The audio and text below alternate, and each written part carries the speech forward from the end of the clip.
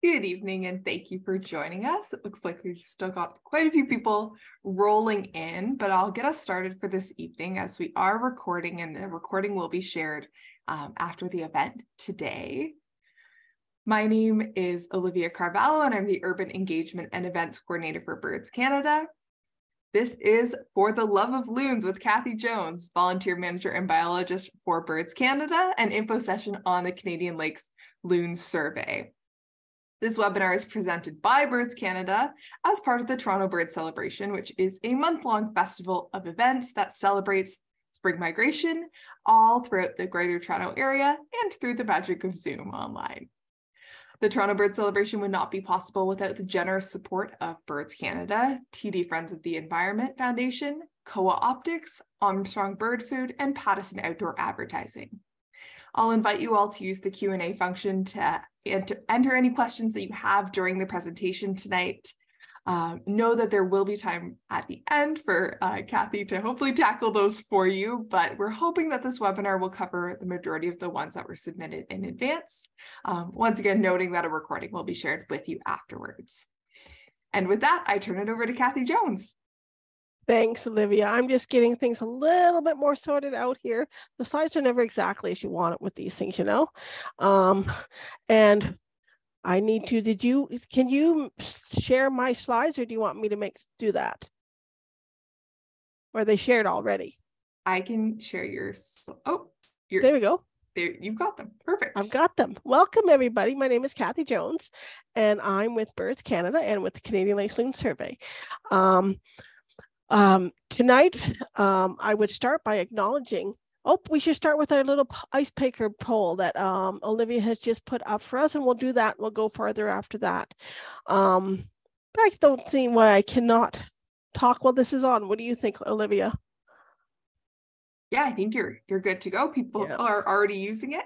I see that. So um, tonight, I would like to acknowledge that we are coming from the traditional lands and unceded territories. At least I am of the Haudenosaunee, the Attawandaron, the Anishinaabe, and the Mississauga peoples, and that I my person myself personally in Port Rowan, Ontario, is within the 1792 um, Treaty Three, which is sometimes called the Between the Lakes Treaty.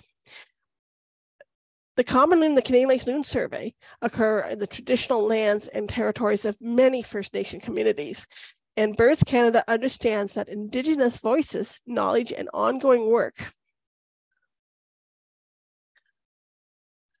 on the land are critical for wild birds to thrive in sustainable ecosystems. And we support the needs, aspirations, and rights of, of Indigenous communities to um, care for the land. Um, how are we doing on the poll? Should I move on? Yeah, it looks like things have slowed quite a bit there. We've got over 75, oh, 80% of people have uh, have taken to the poll. That's great. One of the reasons I like to include these polls, because I really, really like to know my audience so I can cater my talks to the audience. How are we, what do we have? Um, if you don't mind um, sharing that information, Olivia. Yeah, it looks like about 77% of us tonight are uh, residing in Ontario or joining from Ontario. Uh, we have got folks from actually everywhere except for Prince Edward Island, which is really exciting. So we're widespread tonight. And it looks like quite a few of you, over 60%, um, are brand new to the program. We've got 10% that have uh, been doing the program for many years, a couple people that have surveyed the last couple years, um, and we have some brand new people that have never been involved with the citizen science program before. So welcome. This is a great starter program if you want to learn about citizen science because it's a species that's very easy to find. So hopefully you'll enjoy this talk. Um, funny enough, loons, uh, I would readily say that the common loon, if you if, if you want to end the polls and remove that, or do I need to? I can do it. Oh, there I go. Funny enough, the common loon is pretty much a species that is most commonly found in Canada. And the majority, probably it's not too far off that 77% of people in Ontario, the majority of them are found in Ontario. So it's interesting to see that um, spread of people. So to move on, um, I would like to tell you a little bit about Birds Canada. Birds Canada is a not for profit, and probably many of people on this call know about us already. But our mission is to drive action to increase the understanding, appreciation, and conservation of birds in Ontario. What we have done very well for many years is to deliver high quality citizen science projects. Presently, we have nearly 40 citizen science programs with at least one operating in every province and territory across the country. Um, about 75,000 people now participate annually in our programs. The way these programs work is that we train members of the public to conduct standardized bird surveys in the field, and then we put the information they collect to good work into advanced bird conservation. Today's presentation will focus on just one of the citizen science programs, um, uh, which is, of course, the Canadian Lakes Loon Survey and the Canadian icon that we study, the common loon. Now, I will acknowledge that this is a topic that could easily fill up four presentations and we don't want to be sitting here four hours. So this is pretty surface. I will share some fact sheets at the end that will give you a little bit more places to look for additional information, but I can only cover so much in, in, in a reasonable length um, webinar. So just, just be aware of that. So a little bit of history about uh, the Canadian Lakes Loon Survey. The main reason for starting the program was back in 1981 in Ontario, there was a clear concern with survival of loon chicks caused by acid rain. And this program was started to assess the long-term health of common loons and the lakes they depend on in relation to the negative effects of acid rain. Um, they're um, a very good species to study something like this because the chicks gain the whole nutrition and whatever they need from a single lake.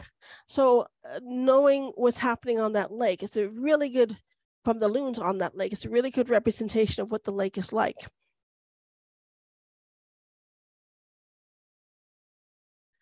The objectives now, they've adjusted a little bit um, and we've had an ever-changing suite of, of um, variables that we've looked at.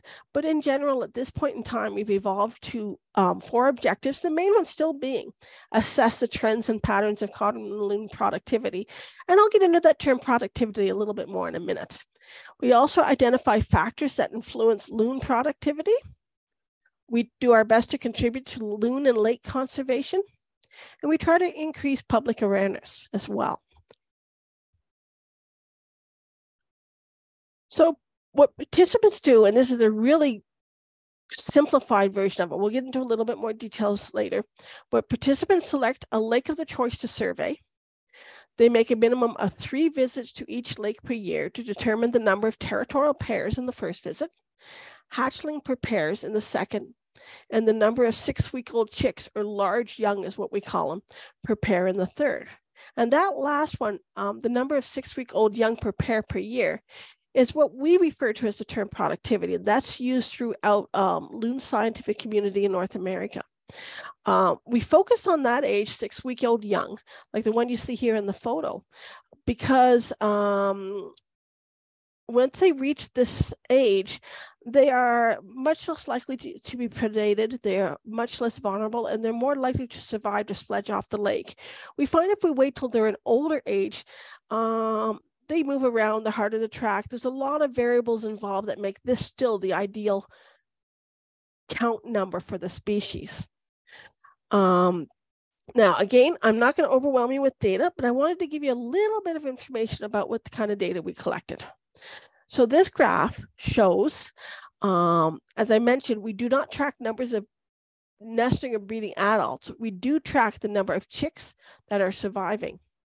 And the consensus in the loon science community is that if overall the loon population is producing 0.48 chicks per year per pair, per pair per year, that yeah, half a chick per pair per year, um, then the population is stable.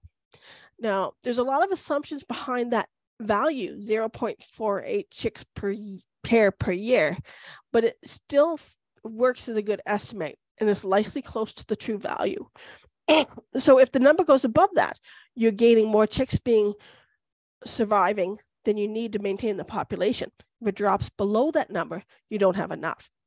Now you notice on all these graphs is a dotted horizontal line. That represents 0.4 chicks per pair per year. And you will see that in some areas, um, we're having problems. Species, this we're getting very, very close to not producing enough chicks to hold the populations in those regions. And that is a concern we have. This same data has been identified similarly in programs in Wisconsin and Minnesota.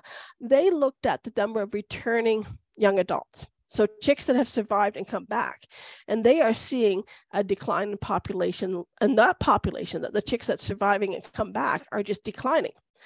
And these three um, surveys together are causing some significant concern in the, the main reproductive center for um, loons, which is the Great Lakes, um, Southern Canada populations.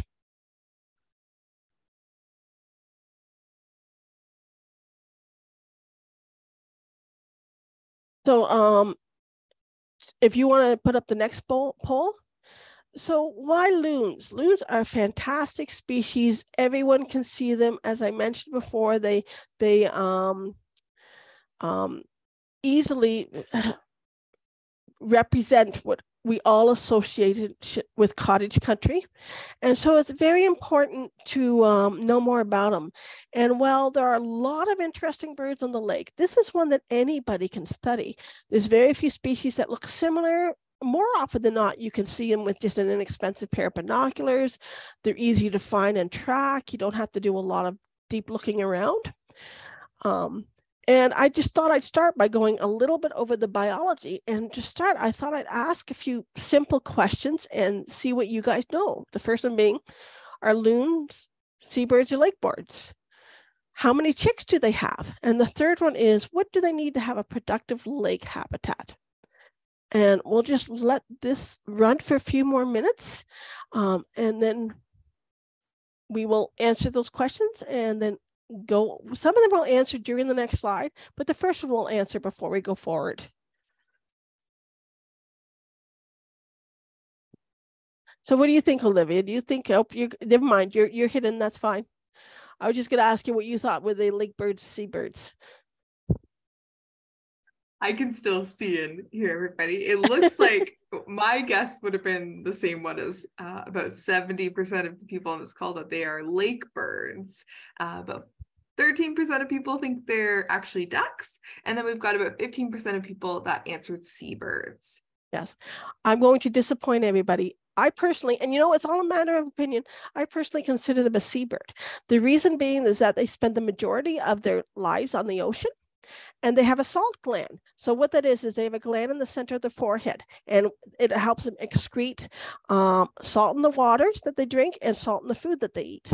So they're they're very much evolved for that environment, and they come back to our beautiful, less volatile freshwater lakes to breed. Um, I'll just move down and give some answers. How many chicks do they have? I'll go over that a little bit later but people are pretty close here. One to three is the normal, never more than two. That is not. Um, they will have more than two. And there have been a handful of occasions where we've seen four chicks. Now, when I say a handful of occasions, right now the belief is those are chicks that they adopt from other parents. Uh, but it has occurred. They do this every once in a while. Loons pick up other things to parents. It, it's it's being more noticed in social media now through time. It's something that we never thought happened 10, 15 years ago. And what decides the size of the lakes that a loon needs? The length of open water, the shape of the shoreline, the productivity, or a combination of them all? Frankly, it's a combination of them all. And we'll go over that a little while afterwards. If I don't answer it well enough, go ahead and ask me again. Um, so I'm going to close that out and go to my next slide. And this is the busiest slide you're going to see tonight. and so this is the basic life cycle of a loon. Um, so what is a typical year in the life of the loon? They start in the oceans.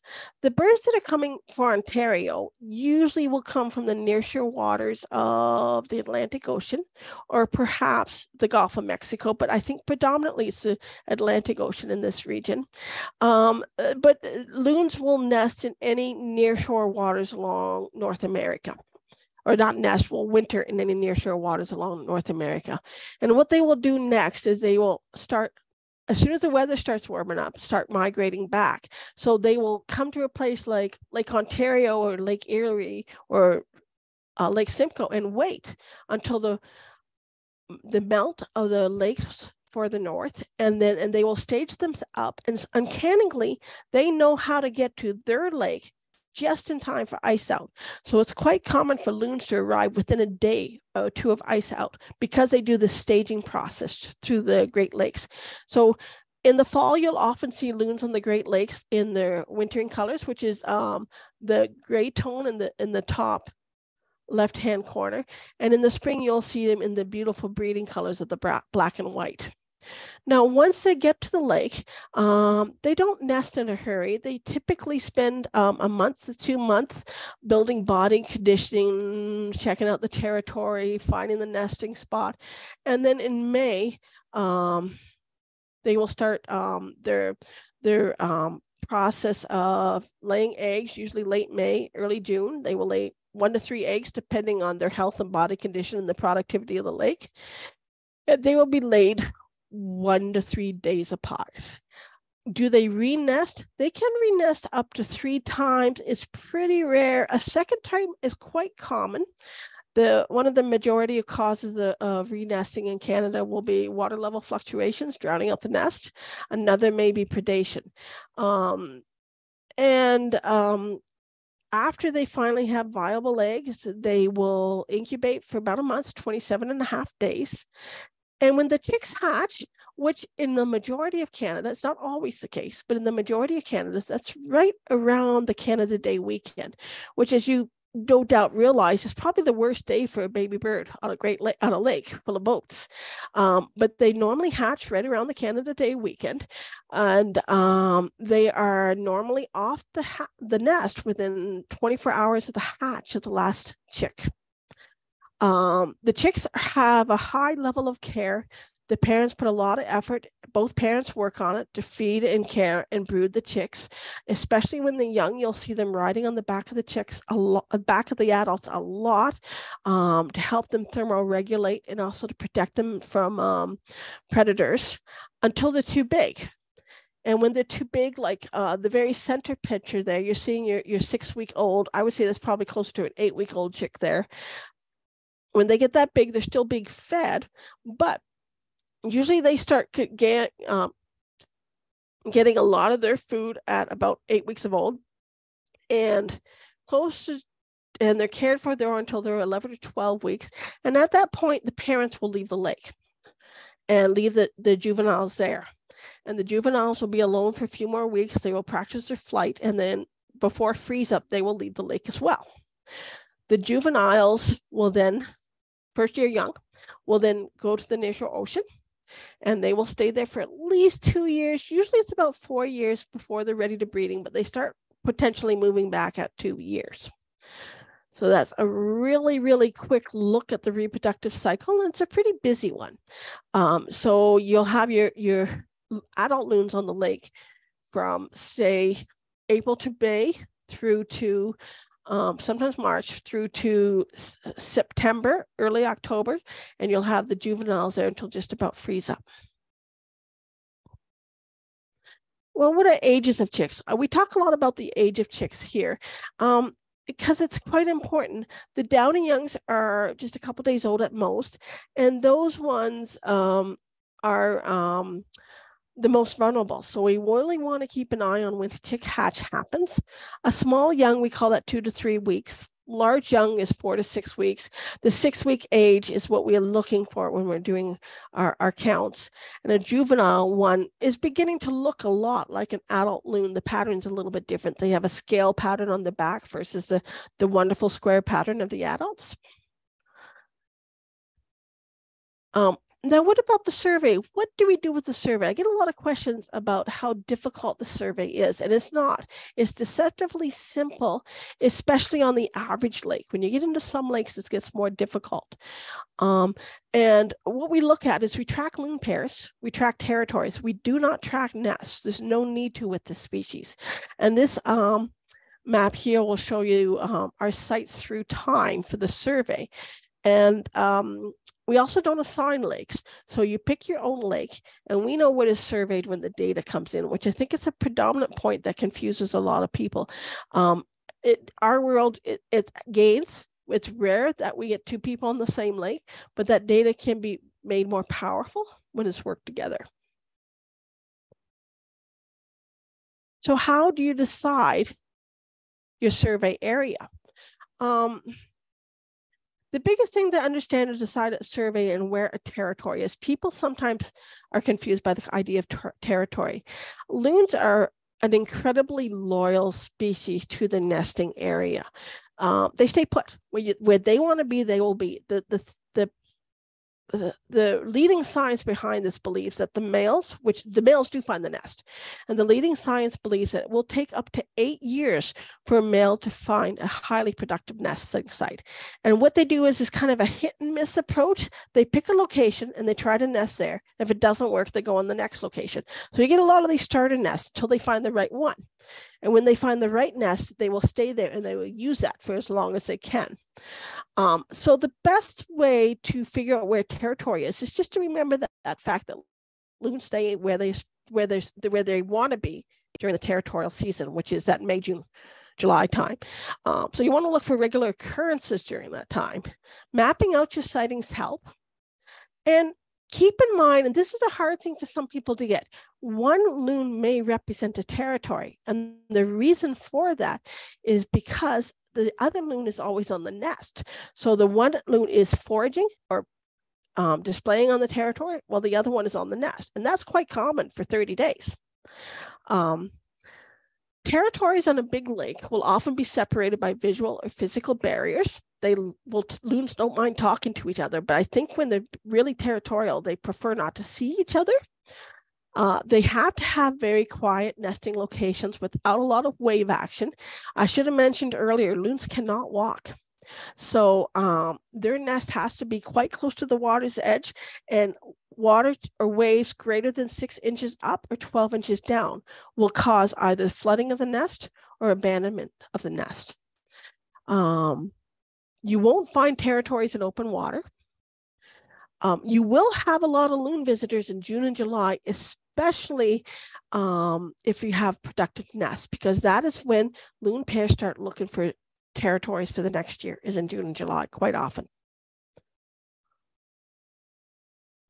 Another great way to look into where on your lake the loons are is to use eBird Canada. And this is Real Lake, which is in um, the Muskokas, and I pulled it up to show where loons have reported on this lake. Now, there's only two reports, which is kind of unusual, and I think that's because nobody's put bothered to to add eBird data to this lake. So I'd like to encourage people wherever you are, put your data into eBird for all your casual observations. But even here, you can see two locations where potentially there could be um, nearby nests. Now let's look at a lake that I know has nests, and that is Char- Sharbot Lake. And this one I've been to, and there's pairs in several little nooks and crannies. And here, when you start, and there is so much data on eBird associated with this lake, I took the time to filter it down to just data from June to July when the pair should be active um, and for the last 10 years. And even from that, you can see a bit of a pattern of where the loons may be on the lake and where they might be nesting. So this kind of information will help you decide where to survey. But the bottom line when it comes to surveying is um, these are huge lakes. And most lakes are one pair, maybe two pairs. And so they're pretty easy to figure out where to survey. But on these big ones, there's no expectation that you survey the whole lake. Um, the expectation is that you survey within the bounds of your life on the lake. So what I mean by that is you you visit the lake when you're there in areas that you will cover. There is certain times that we do need you to survey. We need you to get out there in late May, early June, just to find out if there's pairs on territory. And then again in late June, early July, depending on where your lake is, to figure out if there's chick hatch. And you want to get that date as close to chick hatch as possible because that's a vulnerable time. Time you could have chick hatch and lose it if you wait too long before you, you check. And then we want you to get back out in late June or more likely August, all depending on when that chick hatches. So six weeks after chick hatch, um, so that you can um, see if you have any chicks survived. Those are the things that we are really looking forward to the program. Um, and we don't expect you to make special trips for this. Some people have to. Usually the activities can be within your normal behavior on the lake, like perhaps the boating um, path that you take to get to your cottage, your favorite fishing hole, your favorite paddling um, area that you want to paddle, all those things can be considered. The view from your cottage windows might work as well. Um, but for some people, they do have to make a special trip to the lake. And again, it's usually not that difficult as long as you have those three visits it becomes difficult if you um, don't see loons because then you have to put a little bit more effort in it maybe go a little bit more often and check all those nooks and crannies because adults will hide chicks and um, they could be on a nest they could be just not obvious at the time they could have a feeding lake as well. So you want to make a point uh, of looking extra if you're not seeing loons on your lake uh, so how do you decide the sections on a big lake? Well, as I said, you make sure it's an area you spend time on. Make sure it's an area you can realistically cover. Like to say that you can cover all of Sharbot Lake would probably be an unrealistic thing to do, unless you want to spend your whole summer spending every day looking for loons. I'm okay with that if you want to. Um, add the nearby open water areas they're not usually found in a lot of open waters, but every time you'll see a member of the pair out fishing there or the loons ch- moving their chicks around. So a little bit of scanning of the open water that's adjacent to your, your quiet areas is worth your time. Um, if you enter your data online, there are options within the system for existing sections on your lake. In many cases, not always, we don't have all lakes in the system. Um, in those cases, you may decide find that there's a section very similar to what you plan to survey, and you can just choose that and tweak it a little bit um, so that the data collected is similar to what was collected in the past. If you choose to um, provide paper results, and both are equally okay, no problem with either one. But if you choose to provide paper results, just put as much information as possible on your survey area and we will figure out the section after the fact. And if we have any questions, we'll reach out to you. Okay, you spend you a section is where you spend time. You can realistically cover, and you include the open water areas. And if possible, adjust to match pre-existing sections. So this is a big lake, and we have a lot of questions from associations, and I don't know how many people from associations we have here, but um, they often wonder how to split it up. The first year, I would just say just automatically split it up around where people are, around what makes geographic sense. And then after you start seeing data, some sections may need to be bigger, some next sections may need to be smaller. So there's often adjustments to sections on big lakes after the first year. And that is okay. I can work with you and we can sort that out and we can make it suit your association and your lake coverage the best. Now, what do you do with the data? Um, and how do you register? Those are two very important questions. I think most people here have registered already. But if you want to participate, I would suggest two things. You um, go onto the website, um, birdscanada.org slash loons, and you read the participant fact sheet because that tells you how the program works. And then you click on the volunteer portal and you sign up. And the other picture here I have is just a tablet view of what the volunteer portal looks like. And there's a spot that we can sign up to it. It's hosted by Nature Counts. So you may be involved with other programs in Nature Counts. You'd want to use the same login as your other programs. Um, and or you can create a new login, but you just have to sign up for the program. And the other thing you will have to do afterwards is you have to log back in and tell us whether you want a paper kit or paperless kit for the year. And I advise paper kit for the first year, just because there's so much that's new. You're at the cottage, you're at the lake. Who wants to be on the computer? Have a copy you can keep at the lake and leave there for the next decade or in the boat or what have you. So you have it there if you need it. Um, so here it is again. You will see that um, when you're logged in, this is something people miss quite easily with the volunteer portal. It's easy to think you're logged in when you're not. So make sure it says your name or your login address. Um, make sure you tell us what you want a kit. And then when if you go to conducting your Canadian Lakes Loon survey, it tells you all the information there for your for surveying and how to submit your data. A submit your data option. Um, I'm not going to go over submit your data. It's a complex system. There is um, a technical webinar on the front page of the Loon Survey webpage. And in the fact sheet I will provide people, it also includes that webinar split into four sections so you can learn each section. But I did want to talk about the other thing that's very important, and that is to look into ways we can help loons. There are some, it's very easy to get in a position when you think there's no way you can help, but there are ways to help. And the three ideas circled in yellow dispose responsibly, reduce your impact, and get involved and raise awareness are three things you can do from anywhere in Canada, not necessarily in the lake. The other things keep your area wild, um, boat with care, steer clear, use lead free tackle. Those are all things that you can do at the lake. A reminder that whatever you put in your storm drains and down your sinks ends up in your drinking water and in where these fish and where birds live. So you want to be careful with that. We also have materials that we can share, um, signage for lakes, uh, this PowerPoint production, um, other uh, materials on the, the loon survey pages that you can use to uh, help steward loons and any water birds on your lake. Now, there's a lot of questions always come up about platforms. Being humans, we want to fix problems. We're very big on fixing problems. The thing is that problems are not always easy to fix. And platforms will be highly successful in the right locations.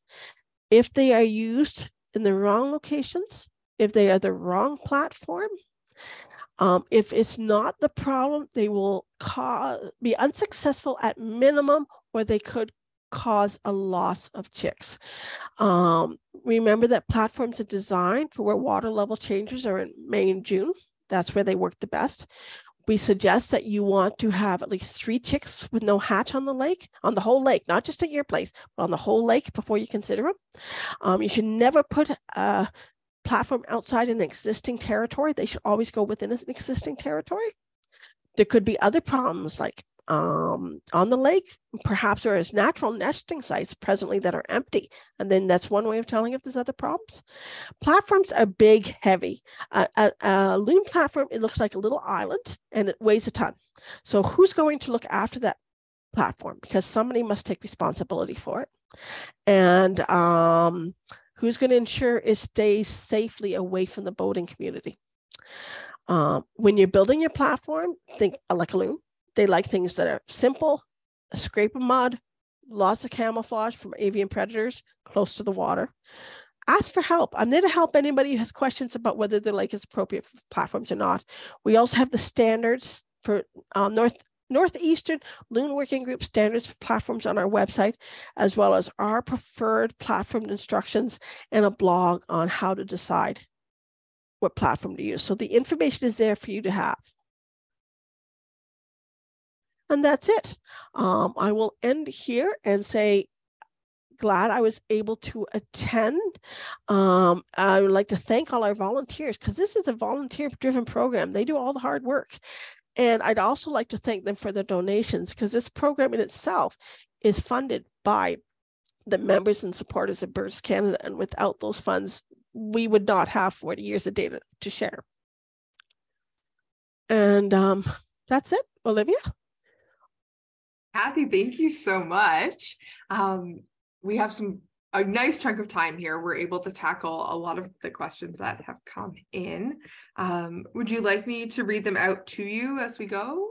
Sure. Is that, is that helpful? Here, I can, I'll pop myself back up here and then, uh, oh, there, we're together again. Lovely.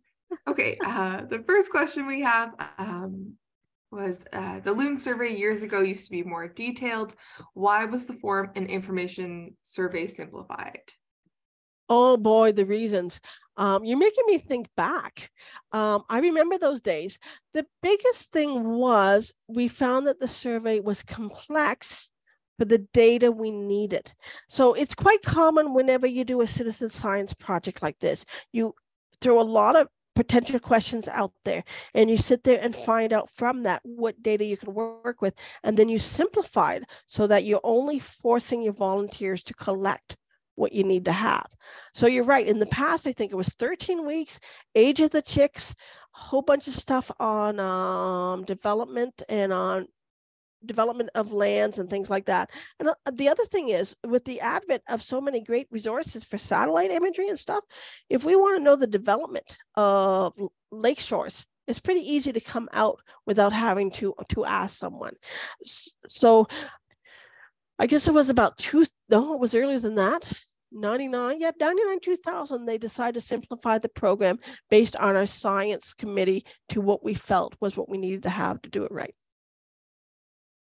Okay, that's great information to have. Um, and hopefully that's reassuring for the new people that um, this is a, a good citizen science um, program now, to jump into. Ironically, I do want to add a few of those points back in at some point if we get the funding to do it. I would like to see us look again at phenology as we are seeing changes in climate. Is the species behaviors changing? And that's a very valid question that we're we're actually working with um, we're bringing in a postdoc through the North American Loon Research Working Group to look at all the data collected on loons across North America to find out if there's other variables that we should bring back into the picture. So there may be another change before 50 years. Well, that is the next question I had lined up. If ice out is occurring sooner because of climate change, will loons adjust and arrive earlier? It's a tough call. It looks like right now they're just showing up and building body condition. Well, they might arrive earlier, but they don't, they're not seeming to nest any earlier. We have a couple spots in Canada, Rideau Lakes and BC are two locations where they tend to nest earlier. But so far, we're not seeing those changes in behavior elsewhere in Canada. Okay, okay, great. Um, back to the questions. Does a loon leaving for ocean for breeding for the first time return to the same region where it was born? That for a very, very long time was difficult to answer.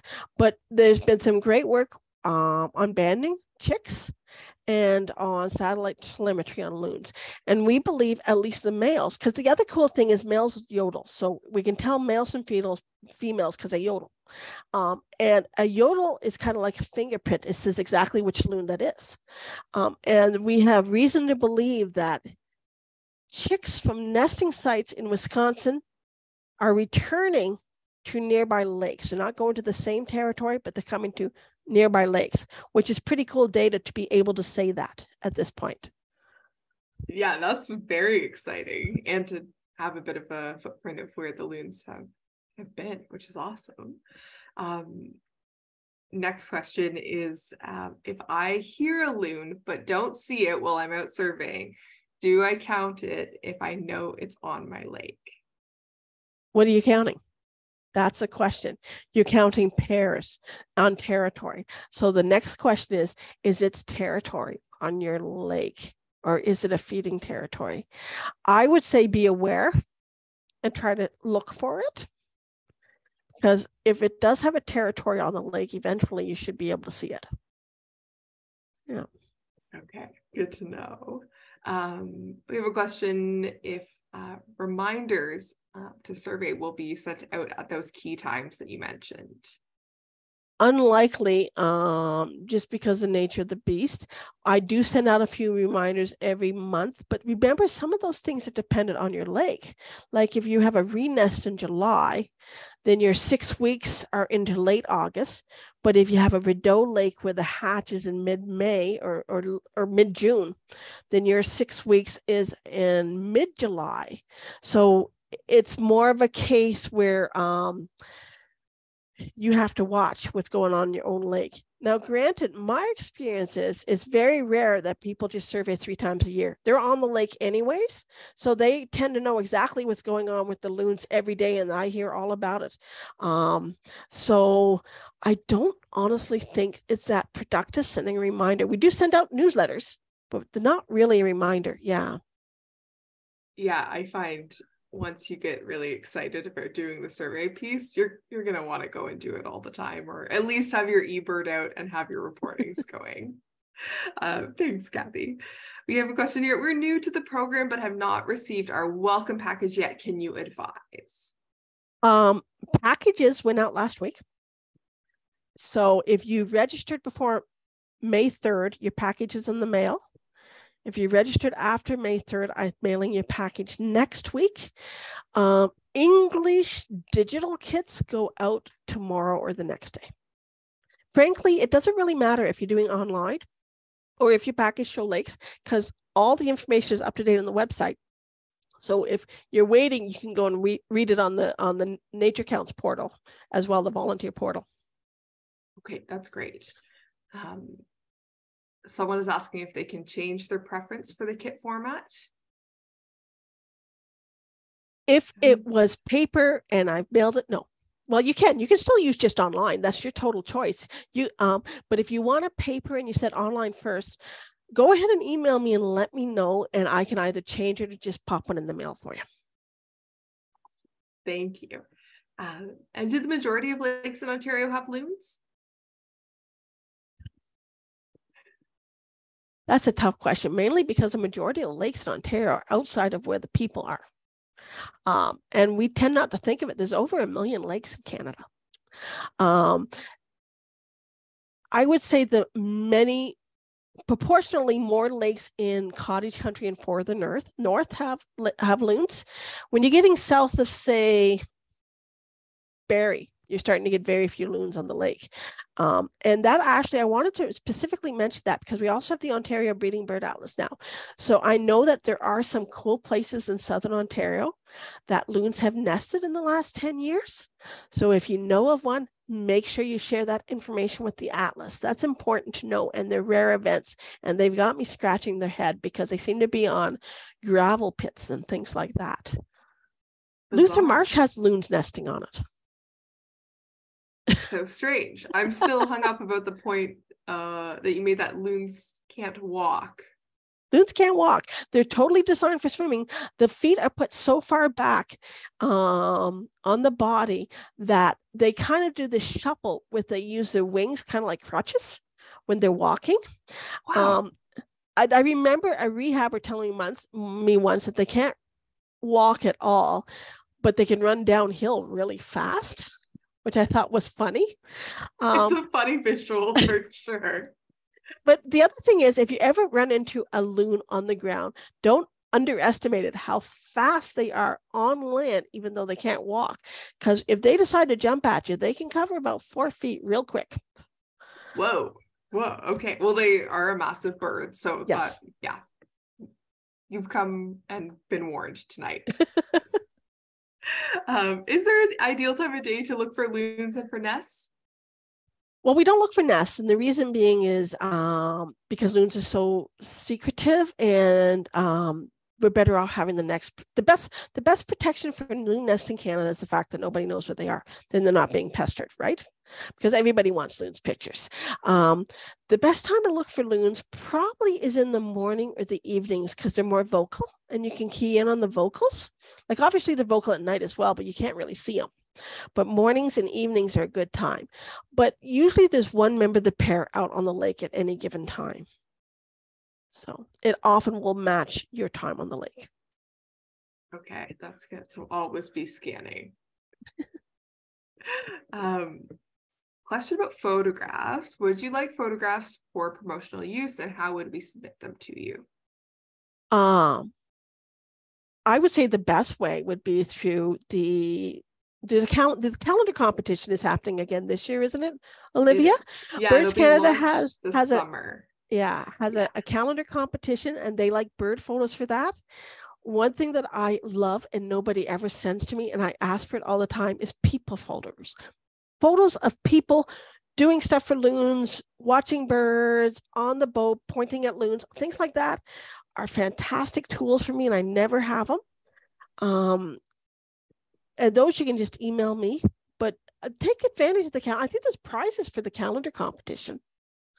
Yes, yeah. I believe so. And often, if you submit a photo to Birds Canada, there might be someone that comes back email you at another point asking if it could be used for other projects. So we do have ethical guidelines and they are on our website so you may want to check that out i think the one thing it's probably a good time to mention i prefer you to stay at least 30 meters so about 100 feet from loons at any time because you can even though you're there for a good cause impact the way that they are looking after their chicks and doing their regular activities and and i will tell you that i can tell when i look at a photo if a loon is being disturbed or not yeah, really important. There are ethics for bird photography and wildlife photography. As Kathy said, head to the Birds Canada website uh, to get full information. But um, yeah, it'll cover things like please, you know, baiting or we're trying to trick the birds into getting a great shot. We we won't accept those. Um, back to uh, the surveying. Can we survey multiple lakes this year? Oh yeah, you just need a form per lake. Now I say that with a qualifier. If you are brand new to the program, you'll only get one form. After your first year, you'll get a form for every lake section you return data on. So this first year, if you want to do paper forms, you have to photocopy it or print it off the website or something so you have enough forms. Okay, that's great. First years, stick to your lake. um, question about um, contamination on the lakes, would a large toxic blue-green algae bloom on a small lake kill the loons? At this point, I would say no. We're not seeing any signs so far of death from the algal blooms. Um, we do see deaths from other toxins, especially on the Great Lakes from the migrating in the past, depending on the year. Um, but one some interesting things that are happening is one of the processes and and this is such a complex thing if you want to know exactly what all the processes we're looking at for loon survivalship you'll have to look at the 40 year report. It's too 40 year report it's too much for a single talk but we're noticing that as you disturb your soil your lake as um, lakes warm up and chemicals and toxins become more metabolized, you're creating a situation where you're getting more mercury and or other compounds coming off the bottom and into the loons. And that will cause poor parenting practices, as well as many other things. Okay, okay, good to know. Um, I hope that answers that question. Um, so someone here says they've actually been on a lake for 18 years seeing loons every year and regret that they only discovered this um, this program this year. Are you in any way interested in historical information? Yes and no. Um, this is one of the few problems where we'll backdate data. And that is because we know that there's naturalists out there who visit the lake every year and they will do enough visits that they collect all that information. But remember, we need those specific visits. We need to know every year if there's territories and how many if they hatch and how many ha- and, and how many territories hatch young and how many chicks hit that six week year the six week old stage. So if you can provide that information great fill out a paper form. And right now we don't have the ability to export it into the system. You have to pretty much let us keyboard it in. If you can provide that level of detail certainly send it to us. But that's a fair bit to ask of somebody who's never been involved with the program before. Yeah fair enough. Um, for the past two years, there have been loons nesting on my small lake. I have never seen any chicks. Last year, I even saw two large eggs on a nest at the end of July. Again, no chicks. Do you know what happened? Not enough information. Um, there's several things um, that could be going on. The one could be flooding, um, where the nest is being flooded out. Um, it's a small lake, so I think that's less likely unless it's one of these. Uh, we've had a lot of, we're getting more and more of these fantastic rain events in May and June. And you have these, if you have a large watershed on a small lake, it can cause a flooding that nobody can stop. So that's a concern. Um, it could be just the pair itself and not necessarily the same pair, right? Because of that whole thing I was talking about where they try one spot. If it doesn't work, they try another spot. So it could be pairs trying the spot and for some reason unknown, it's a bad spot. So they move on. Loons have poor parenting at the beginning of the parenting life and at the end of the parenting life. So it could be old pairs as well, which don't do as well with reproduction. So it could be many things happening there. We're also seeing, and we don't have it tracked well enough, which is something else that may come down in the future. We know that loons have their own black fly. Um, which is weird enough. And we have seen in some places in the States, um, in cold, wet springs, the black fly numbers are so extreme that the loons will abandon the nest. So um, it's hard to say what is happening on a specific net lake at any given time. Yeah, so many factors. Um, but good things to keep note of if you do notice anything that Kathy mentioned. Um, if there's more than one volunteer on a, on one lake, uh, can they work together or is it best to work separately? Data reliability question mark. it's tough to say what's best. Um, and and a lot of it mean, means what your schedule works out like. If you know there's another volunteer on the lake, and it's especially if it's a small lake, then definitely try to work together. And even if you split the lake in half and you each do a section, um, remember have you have those section options.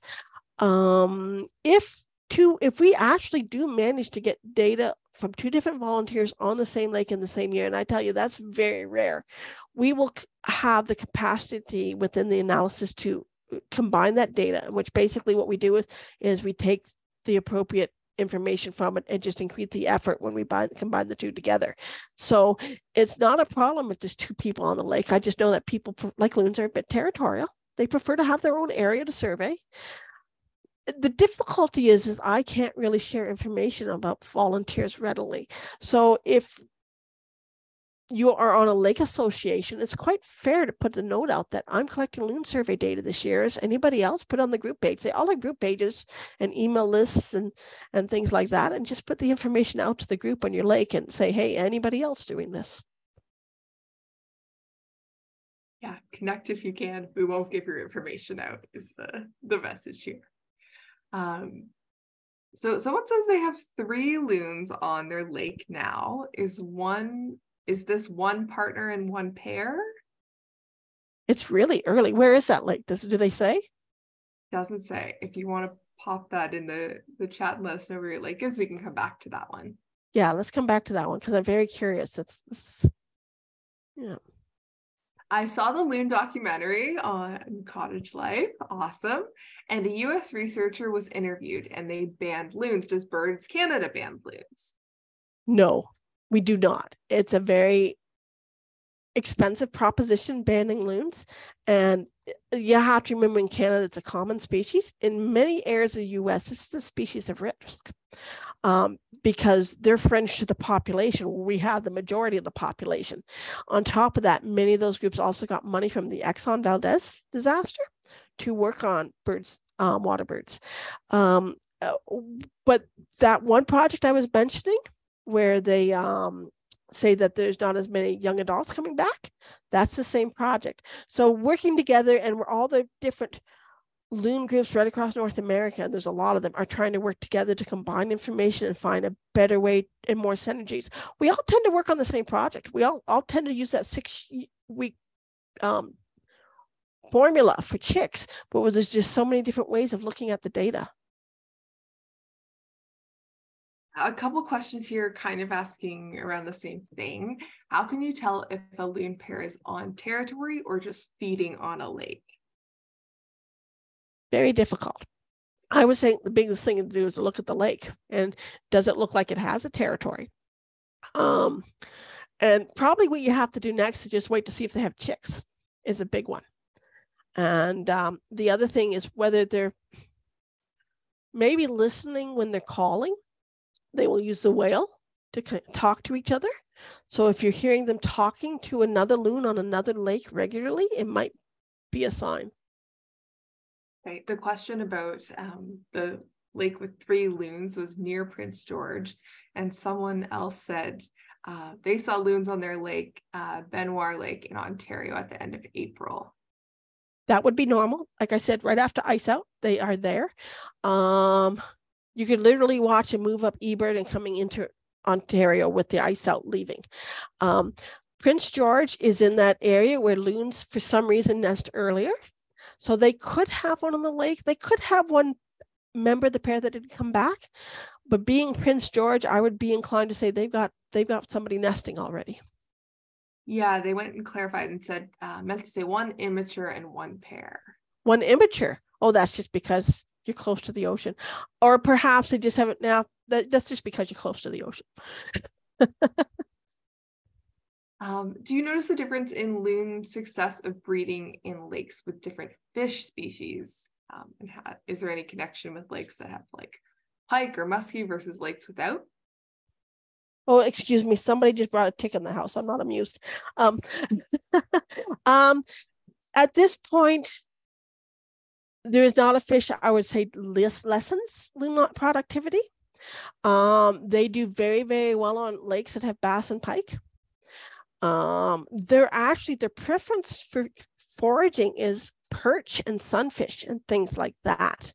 Um, and that all comes down. The best way to describe it, if you look at the pattern of fishing of loons, and when they they fish, they they they hunt in a zigzag, which is perfect for prey fish.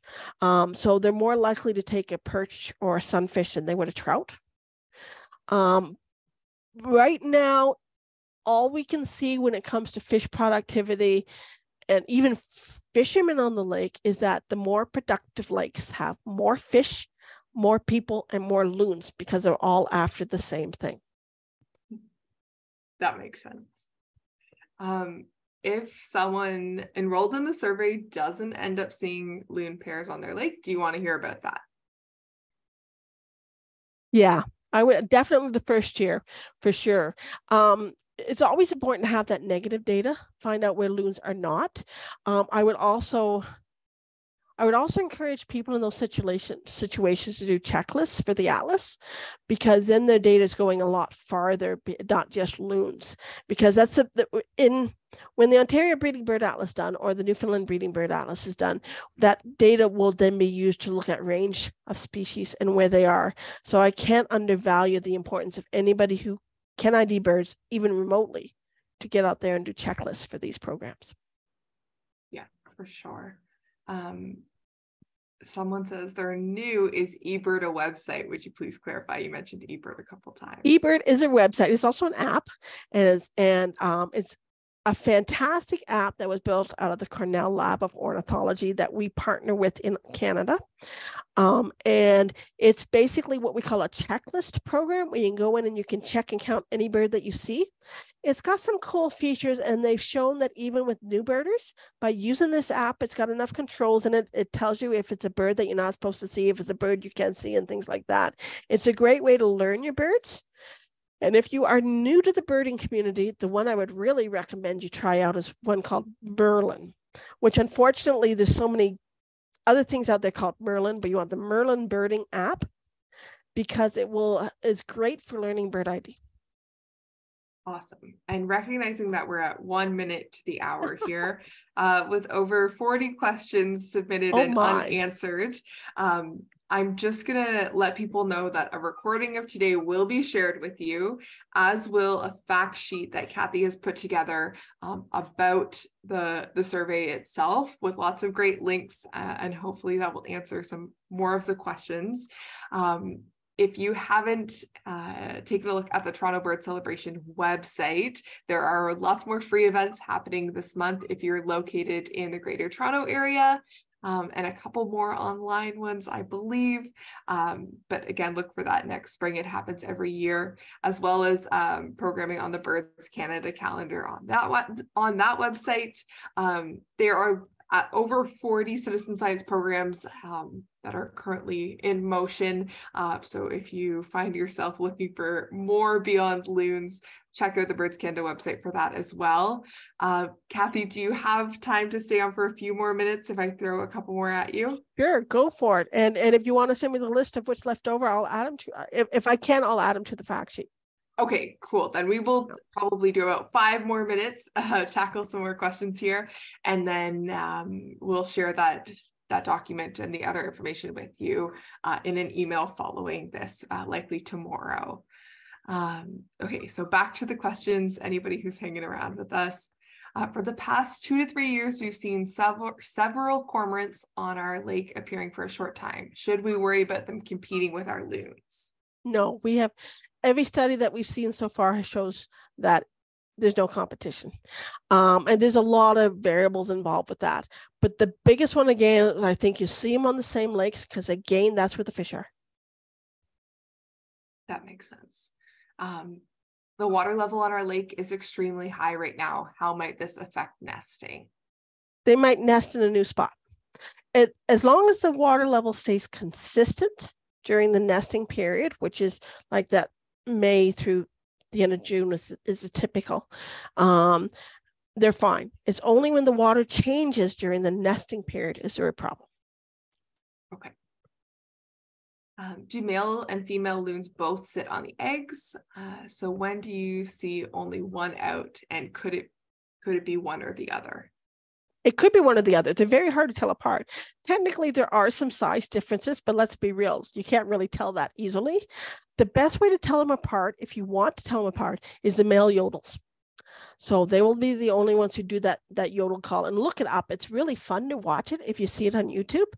Um, they both will um, incubate and they will both brood the young. If I recall, and don't I'm not I might be get this backwards, but if I recall correctly, the female does a little bit more of the incubation. The male does a little bit more of the parental care after hatch. So it all depends probably on the couple. Okay. Um, had we've had um, loons on our lake for several years. We seem to always see a pair together, but there also seems to be a lonely loon. Is he or she a loner, or are we just not seeing their mate? That's a very good question. It could be somebody coming in to feed. Um, it's rare that a loon will enter another loon's territory without a fight. So, but if they're in a different part of the lake, it may be a lone loon waiting for a partner. Um, it may also just be a non-breeder, what we call a floater. So that's a young adult who's not breeding yet, and they might just be visiting the area, checking out where they might want to nest in the future.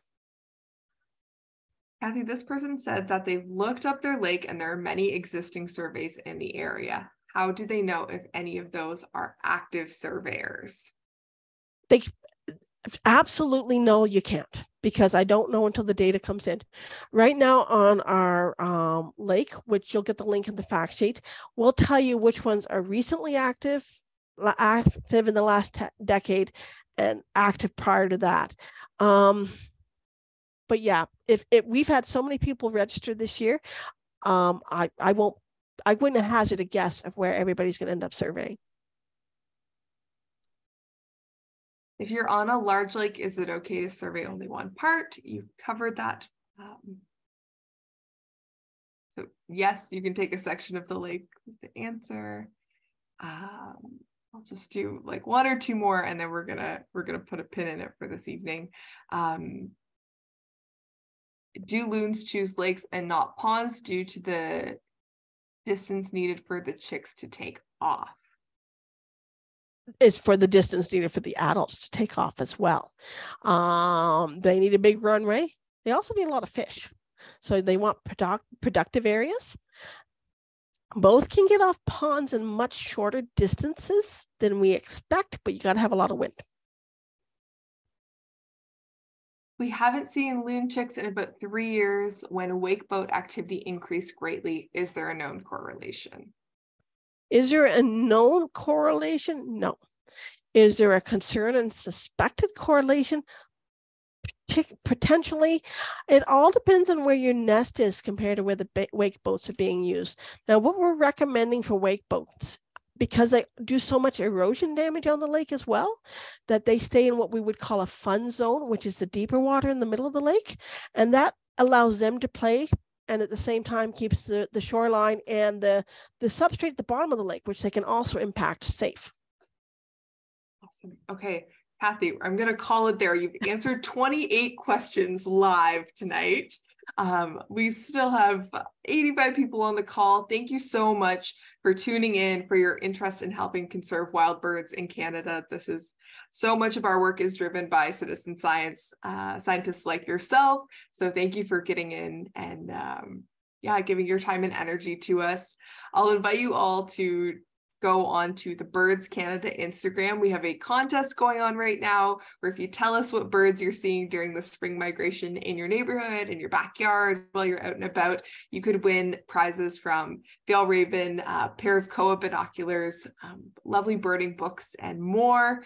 Um, as well, if you fill out the survey that I popped in the chat there, um, tell us how we did tonight. Was this a helpful event for you? Do you want to see more like this at the next Toronto Bird Celebration in 2024? Um, again, you'll be entered to win prizes. And I'll just end by thanking Kathy for your time and your energy and for being so ready to answer 28 of the 60 plus questions that came in tonight. Um, I think your fact sheet is probably going to get some additions after this. Um, but yes, the fact sheet will be sent out uh, in the coming days, as will the recording. Um, and know that uh, email addresses stay open, and um, Kathy's pretty easy to get in contact with. So I'll include that in the post event email as well. Um, thank you for tuning in. Uh, we look forward to seeing all of you soon, and we can't wait to hear what your loons are up to this summer.